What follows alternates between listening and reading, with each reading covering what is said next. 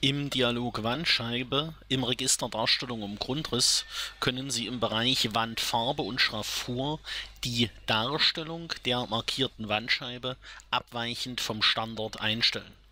Sie können sich für eine Standard- oder farbige Darstellung entscheiden und haben über Farbwahl die Möglichkeit, jede beliebige Farbe zu definieren. Sie können ebenfalls die gewünschte Schraffur aus den zur Verfügung stehenden Varianten entsprechend auswählen und wenn Sie OK sagen, wird die Darstellung für die entsprechende Wand übernommen.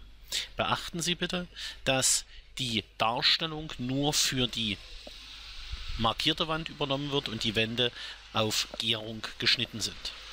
Wenn Sie im Register Darstellung im Grundriss dann die Schaltfläche Zurücksetzen betätigen und das Ganze mit OK bestätigen, wird die Darstellung der Wandscheibe wieder auf den Standort zurückgesetzt. Beachten Sie bitte, dass die im Register Darstellung im Grundriss vorgenommenen Änderungen für andere Wandscheiben übernommen werden können, wenn dies im Register allgemein unter Wandeigenschaften übernehmen eingestellt ist. Wenn Sie dies tun, gilt diese Definition für alle Wandscheiben des gleichen Typs. Das gleiche gilt auch, wenn Sie hier wieder auf Zurücksetzen gehen und im Register allgemein die Darstellung übernehmen eingestellt ist. Auch dann werden diese Zurücksetzen Informationen für alle Wandscheiben übernommen. Beachten Sie bitte, dass diese Darstellung im Grundriss